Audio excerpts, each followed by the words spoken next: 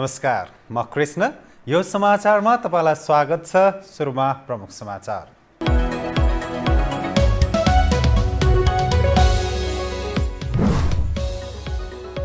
सरकारद्वारा गुठी विधेयक फिर्ता जनभावनाको कदर गरेर गुठी विधेयक फिर्ता लिने निष्कर्षमा पुगेको मन्त्री अर्यालको भनाई।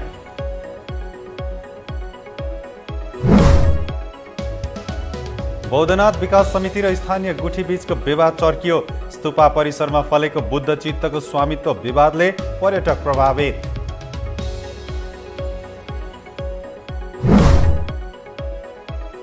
भारत र बङ्गलादेशसँग निजी क्षेत्रले पनि विद्युत बिक्री गर्ने व्यवस्था गर्न ऊर्जा उत्पादकहरूको माग। निर्यातको स्पष्ट अवधारणा बनाउन जोड।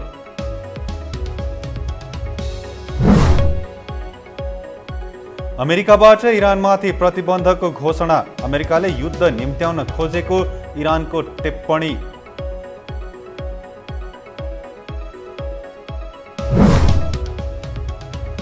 र पल्सर स्पोर्ट्स अवार्डको सूची सार्वजनिक। मनोनयनमा क्रिकेट खेलाडी र प्रशिक्षकको वर्चस्व।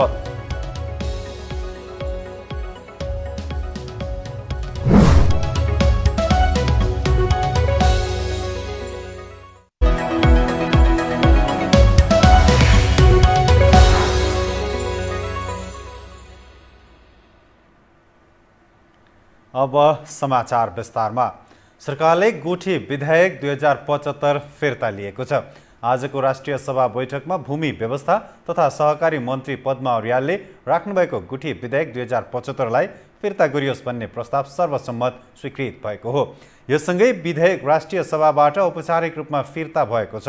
नेपालको संविधानको धारा एक सय बाह्र र राष्ट्रिय सभा सञ्चालन नियमावलीको नियम एक सय सोह्र बमोजिम मन्त्री अर्यालले गुठी विधेयक फिर्ता गरियोस् भन्ने प्रस्ताव पेश गर्नुभएको थियो। विधेयक फिर्ताको प्रस्ताव पेश गर्दै मन्त्री अर्यालले सरकार जनभावनाको कदर गरेर गुठी विधेयक फिर्ता लिने निष्कर्षमा पुगेको बताउनुभयो।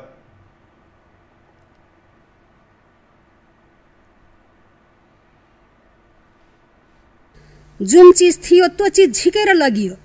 अब कुन चिजको नि खारेजियो यो प्रश्न उठ्न प्रश्न गर्न चाहन्छु। म भन्न चाहन्छु गुठी विधेयकलाई सरकारसँग जोरी खोज्ने न्यु बनाइरहन भन्दा मुलुकको विकास र समृद्धिको बस छलफलमा सरिक हुन म सबै पक्षलाई हार्दिक अनुरोध गर्दछु। सम्माननीय अध्यक्ष महोदय अध्यक्ष महोदयको अनुमतिले गुठी विधेयक दुई हजार दुई हजार पचहत्तरलाई फिर्ता गरियोस् भन्ने प्रस्ताव सभा समक्ष पेश गर्दछु। धन्यवाद। मन्त्री अर्यालले गुठीका जग्गा यस अघि नै हिनामिना गर्ने काम भएकाले त्यसलाई सरकारले रोक्न मात्रै खोजेको बताउनुभयो। जनभावनालाई कदर गर्दै विधेयक फिर्ता लिने अवस्थामा पुग्दा खारेजीको कुरा उठेको भन्दै उहाँले विधेयकलाई सरकारसँग जोरी खोज्ने निहु बनाउनुभन्दा मुलुकको विकास र समृद्धिको बहसमा सरिक हुन प्रतिपक्षलाई आग्रह गर्नुभयो।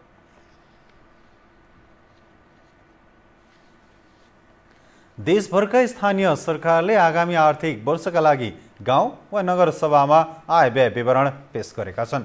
केन्द्र सरकारले दिएको राजस्व बाँडफाँडको सेलिङ अनुदान र प्रदेश सरकारले दिएको अनुदान रकमको आधारमा स्थानीय सरकारले आगामी वर्षको आय व्यय विवरण पेश गरेका हुन्। स्थानीय सरकारले केन्द्र र प्रदेश सरकारले दिएको अनुदान रकम राजस्व बाँडफाँड आन्तरिक स्रोत र मौजदात बजेटमा केन्द्रित भएर आगामी आर्थिक वर्षको बजेट पेश गरेका हुन्। आन्तरिक स्रोततर्फ स्थानीय सरकारले आठ किसिमका कर र तिन किसिमका गैर करको व्यवस्था गरेको छ। सम्पत्ति कर घर बहाल कर घर जग्गा रजिस्ट्रेसन सवारी साधन भूमि मनोरञ्जन विज्ञापन र व्यवसाय कर स्थानीय सरकारले लगाएका छन्। केन्द्र सरकारले पन्ध्र खर्ब बत्तिस अर्बको बजेट जेठ पन्ध्र गते विनियोजन गरेको छ। सात प्रदेश सरकारले असार एक गते दुई खर्ब उनासाठी अर्ब रुपियाँको बजेट पेश गरेका छन्। काठमाडौँ महानगरपालिका साढे पन्ध्र अर्ब बराबरको बजेट ल्याएको छ भने ललितपुर महानगरपालिकाले पाँच अर्ब सत्र करोडको बजेट सार्वजनिक गरेको छ। यसै गरी विराटनगर महानगरपालिकाले पाँच अर्ब बाह्र करोड बराबरको बजेट प्रस्तुत गरेको छ भने पोखरा महानगरपालिकाले सात अर्ब चौवन्न लाखको बजेट ल्याएको छ। यस्तै वीरगञ्ज महानगरले साढे चार अर्ब र हेटौँडा उपमहानगरले एक अर्ब एकासी करोडको बजेट ल्याएको छ।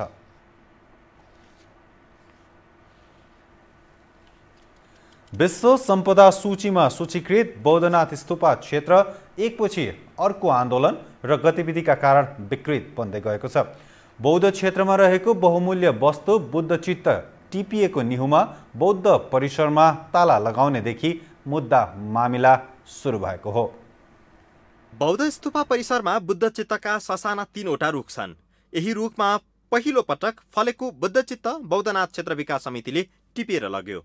करिब चार केजी परिणाममा रहेका यी बुद्ध चित्त सल्लाह बिनै टिपेको भन्दै बौद्धनाथ घ्याङ गुठीले बुद्ध चित्त चोरीको आरोपमा प्रहरी अपराध महाशाखामा उजुरी दियो। त्यसपछि बौद्धनाथ क्षेत्र विकास समितिका मानिसहरूले घ्याङ गुठीका विरुद्धमा नाराबाजी गर्दै सोमबार बौद्ध क्षेत्रमा तालाबन्दी गरे। बौद्ध क्षेत्रमा अकस्मात नाराबाजी र जुलुस निस्किँदा पर्यटकहरू निकै त्रसित बने। बुद्ध चित्त त एक बहाना मात्रै हो। बौद्धनाथको क्षेत्रभित्र रहेका यी दुई संस्थाबीच निकै ठुलो अन्तर्द्वन्द छ। यो अन्तर्द्वन्द्वभित्र भने आदिमकालदेखि रहेको चिनिया लामाको अस्तित्व र पर्यटन मन्त्रालय अन्तर्गत रहेको क्षेत्र विकास समितिको स्वार्थ लुकेको छ। अब बुद्ध चित्तीमा चाहिँ एउटा चाहिँ विश्व सम्पदा सूचीमा परेको चाहिँ म थिएन त्यति बेला। मेरो लामाहरूले चाहिँ त्यहाँ बुद्ध चित्तीको मालाहरू चाहिँ आएर ले कसले लिएछ भने चाहिँ हाम्रो क्षेत्र विकासको हाम्रो मनोज लामाले चाहिँ त्यहाँ जानुभएको रहेछ त्यहाँ उहाँ एउटा चाहिँ क्षेत्र विकासको चाहिँ ऊ भएर एउटा हामीलाई जानकारी हुनु पर्थ्यो तर उहाँले एक्कासी चाहिँ यो हाम्रै हो भने चाहिँ खुट्टा सुट्टा भाँध्ने त्यस्तो किसिमको चाहिँ भएको भने चाहिँ मलाई जानकारी आयो। हाम्रो लामा र त्यहाँको चाहिँ सुरक्षा गार्डले। र अब के गर्ने भन्दाखेरि चाहिँ उहाँहरूले चाहिँ अब हामीले त सक्दैनौँ हामीले त के गर्न सक्दैन। अब हामीले भनेको हामीले त सोध्नु त पाउँछ नि त भन्नुहोस् त। उहाँहरूलाई सोध्नु गएको हामी त झगडा गर्न गएको होइन नि त। बुद्ध चित्तमा आफ्नो समेत अधिकार रहेको भन्दै बिना छलफल बौद्धनाथ क्षेत्र विकास समितिले एक लौटी गरेपछि मुद्दा दर्ता गरेको चिनिया लामाको भनाइ छ। यता क्षेत्र विकास समितिले भने बौद्ध क्षेत्रभित्रको कुनै पनि गतिविधि समितिको स्वतन्त्रतामा चल्ने बताएको छ। गरेपछि उहाँले चोर दोष हाम्रो सदस्यलाई चोर दोष आएर त्यहाँ अपराध अनुसन्धानमा चाहिँ चोर दोषको चाहिँ निवेदन दिएछ। अनि हाम्रो बुलाहाट भयो हामी सबै गयौँ। त्यस्तो किसिमको चाहिँ ज्यादती गर्नु भएन नि त। सबै प्रक्रिया पुरा छ हेर्नुहोस् तपाईँ म प्रमाणसहित देखाउँछु यहाँ हाम्रो माइनोट छ यहाँ अख्तियारी पत्र दिएको छ हामीले त्यसमा। समितिले टिपेको ती बुद्ध चित्त समितिले उचित मूल्याङ्कन गरी सरकारको राजस्वको रूपमा जम्मा गर्ने जनाएको छ। यद्यपि समितिको प्रभाव विस्तार गर्ने रणनीति र चिनिया लामाको एकाधिकारलाई कायम राख्ने योजनाको चेपुवामा परेको प्रसिद्ध धार्मिक एवं पर्यटकीय स्थल बौद्धनाथ क्षेत्र पटक पटक नारा जुलुस र विरोधको घिनलाग्दो दृश्यहरू देख्नु दुर्भाग्य हो।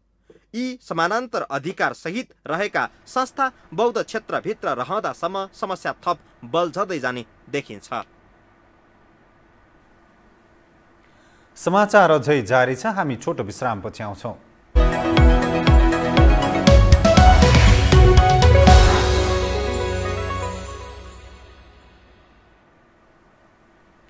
विश्रामपछि पुनः स्वागत छ। अब बाँकी समाचार। सरकारले घोषणा गरेको नेपाल भ्रमण वर्ष दुई हजार बिस अभियानलाई प्रभावकारी रूपमा अघि बढाउन सरकारवाला निकायलाई सक्रियता देखाएका छन्।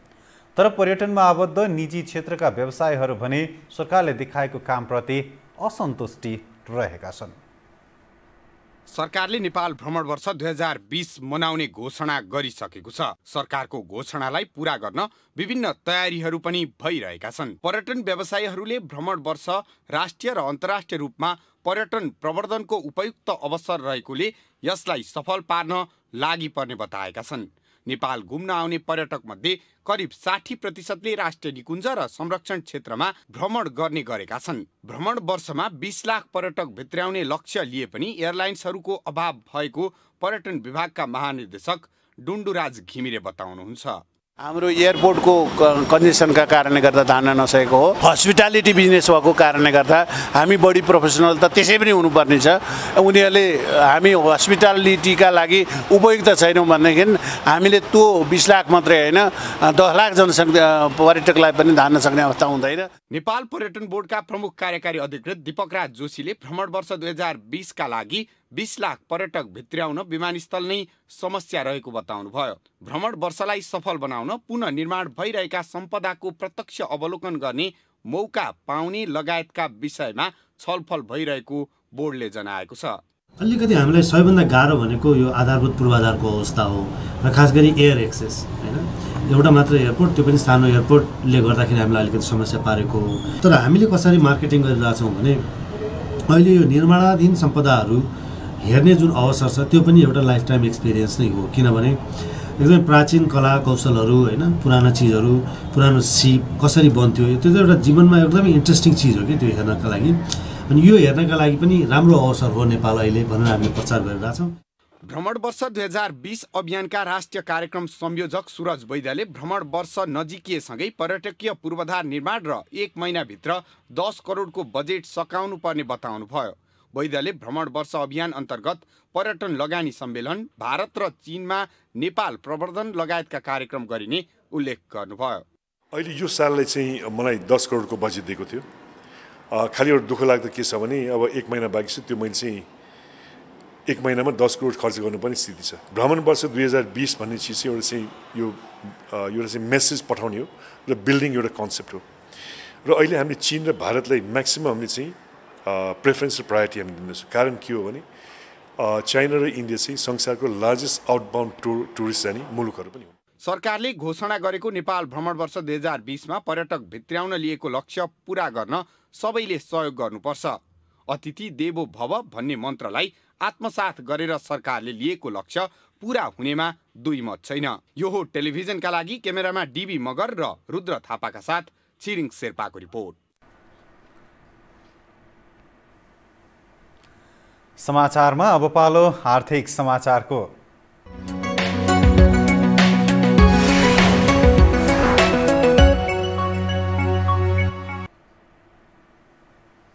स्वतन्त्र ऊर्जा उत्पादकको संस्था इपान नेपालले भारत र बङ्गलादेशसँग निजी क्षेत्रलाई विद्युत बिक्री वितरण गर्न पाउने कानुनी व्यवस्था गर्न सरकारसँग माग गरेको छ। इपानले मङ्गलबार काठमाडौँमा पत्रकार सम्मेलन गरी भारत र बङ्गलादेशसँग निजी क्षेत्रले पनि विद्युत बिक्री वितरण गर्न पाउने गरी कानुनी व्यवस्था गर्न माग गरेको हो। इपानले छ हजार मेगावाट विद्युत उत्पादनको कामलाई अघि बढाएको निजी क्षेत्रलाई पनि भारत बङ्गलादेशमा विद्युत बिक्री गर्न पाउने व्यवस्था गर्न सरकारसँग माग गरेको हो। इपानको टोलीले हालै भारत र बङ्गलादेशको भ्रमण गरेपछि दुवै मुलुकमा जस्तै नेपालमा पनि निजी क्षेत्रलाई विद्युत बिक्री गर्न पाउने कानुनी व्यवस्था गर्न सरकारसँग माग गरेको हो।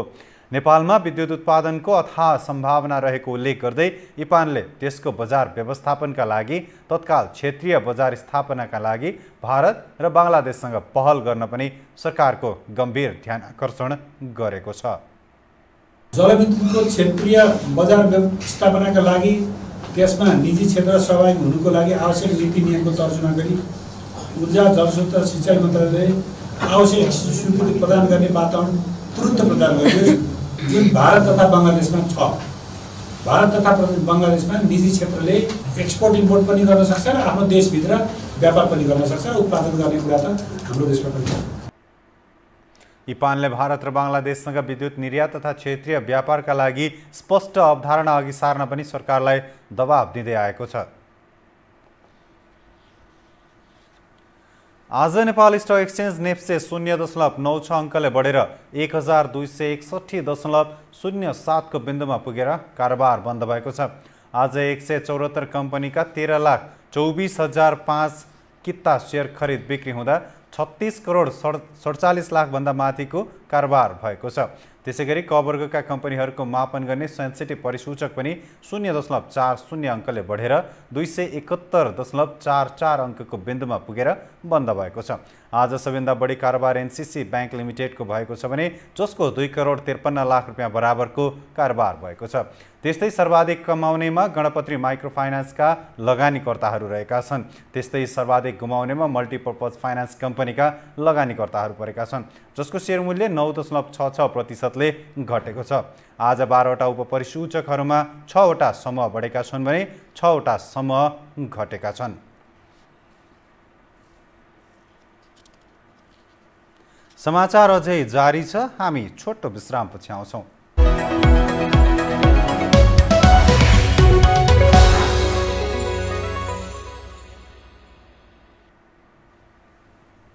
छोटो विश्रामपछि पुनः स्वागत छ। अब अन्तर्राष्ट्रिय समाचार।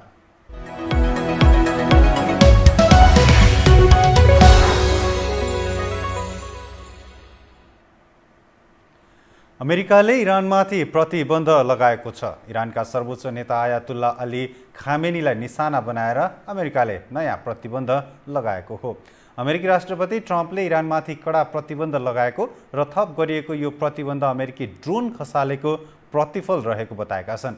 इरानको सम्पूर्ण गतिविधिका लागि अन्तत सर्वोच्च नेता खामेनी नै जिम्मेवारी हुने भएकाले उनलाई निशाना बनाएर प्रतिबन्ध लगाएको अमेरिकाले बताएको छ।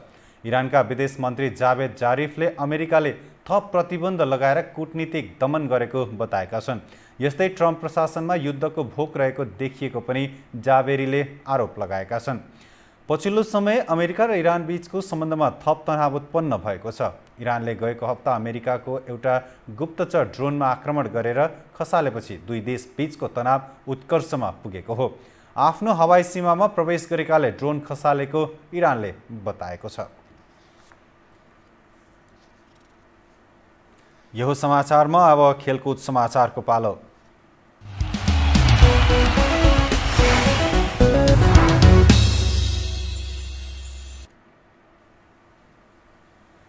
नेपाल खेलकुद पत्रकार मञ्चको आयोजनामा हुन लागेको खेलकुद अवार्डको उत्कृष्ट खेलाडीको मनोनयनमा क्रिकेटका खेलाडीको वर्चस्व रहेको छ। मञ्चले सार्वजनिक गरेको उत्कृष्ट खेलाडी प्रशिक्षकको मनोनयनका चारवटै विधामा क्रिकेटका खेलाडी र प्रशिक्षक परेका छन्। मञ्चले मङ्गलबार सार्वजनिक गरेको उत्कृष्ट पुरुष पुरुष खेलाडीमा क्रिकेट टिमका कप्तान पारस खड्का र सोमपाल कामी प्याराग्लाइडिङका युकेश गुरुङ गल्फका शुक्रबहादुर राई र जुडोका इन्द्रबहादुर श्रेष्ठ मनोनयनमा परेका हुन्। यस्तै महिलातर्फको उत्कृष्ट खेलाडीको मनोनयनमा फुटबलकी सावित्रा भण्डारी भलिबलकी सरस्वती चौधरी क्रिकेटकी सीता राणा मगर जुडोकी मनिता श्रेष्ठ प्रधान र तेक्वान्दोकी निमा गुरुङ छन्। त्यसै गरी उत्कृष्ट युवा पुरुष खेलाडीमा ब्याडमिन्टनका प्रिन्स दाहाल एथलेटिक्सका अजित कुमार यादव क्रिकेटका ललित नारायण राजवंशी फुटबलकी मञ्जली कुमारी योन्जन र करातेका विजय श्रेष्ठ मनोनयनमा परेका छन्। उत्कृष्ट प्रशिक्षकमा प्याराग्लाइडिङका योगेश भट्टराई क्रिकेटका जगत टमाटा एथलेटिक्सका धनीराम चौधरी भलिबलका ज्ञानेन्द्र विष्ट र फुटबलका हरि खण्डका मनोनयनमा परेका छन्। खेलकुद पत्रकार मञ्चले आयोजना गर्ने यो अवार्ड असार सत्र गते हुनेछ। यो अवार्डका लागि दुईवटा विधाको मनोनयन यसअघि नै सार्वजनिक गरिसकेको छ। यससँगै हामी समाचारको अन्त्यमा आइपुगेका छौँ। बिदा हुनुअघि अहिलेसम्मका प्रमुख समाचार पुनः एकपटक।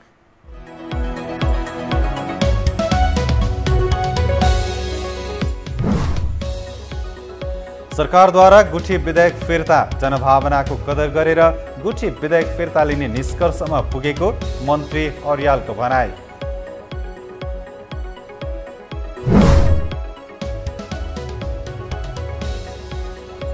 बौद्धनाथ विकास समिति र स्थानीय गुठी बीचको विवाद चर्कियो। स्तुपा परिसरमा फलेको बुद्ध चित्तको स्वामित्व विवादले पर्यटक प्रभावित।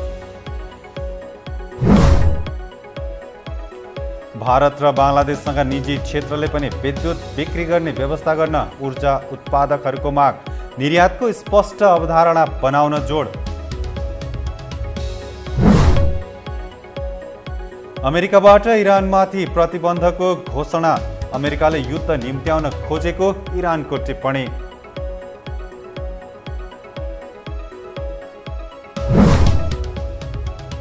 र पल्सर स्पोर्ट्स अवार्डको सूची सार्वजनिक मनोनयनमा क्रिकेट खेलाडी र प्रशिक्षकको वर्चस्व।